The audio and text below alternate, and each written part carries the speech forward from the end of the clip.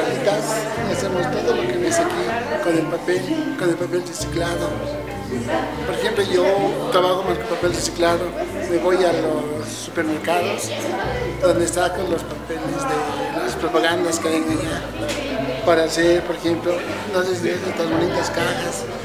Yo trabajo con papel reciclado y también con papel artesanal que nosotros mismos los, pintamos.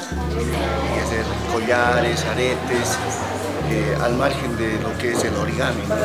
Es complejo el origami, es un campo muy grande por eso he escogido lo que es eh, billutería. Eh, una de las eh, alternativas es no echar a perder el, papel, porque por el hecho también del medio ambiente, ¿no? Hay que utilizar papel reciclado para poder